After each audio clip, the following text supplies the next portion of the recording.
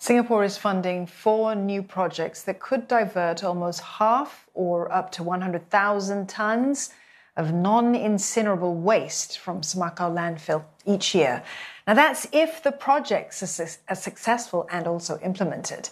The National Environment Agency has awarded the grants under a $45 million R&D program that's called Closing the Waste Loop.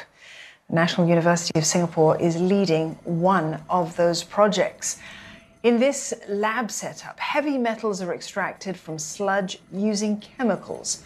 The treated metals then go through an electroplating process that can generate renewable energy like hydrogen.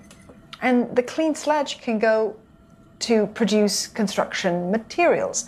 The team will work with industry players for larger scale tests we need to automate the process. So we actually have all this uh, built into a you know, recirculating system so that it's more ready for you know, uh, the industry to use so that they can achieve um, not just a you know, cost effective solution, but also uh, labor saving solution.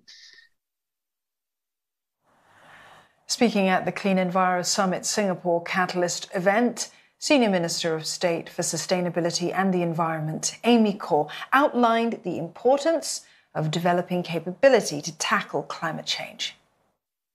Even as we work to become COVID 19 resilient and prepare for the next pandemic, we must double down on efforts to become climate resilient, build capacity in our environmental sustainability ecosystem, and galvanize action to promote sustainable development.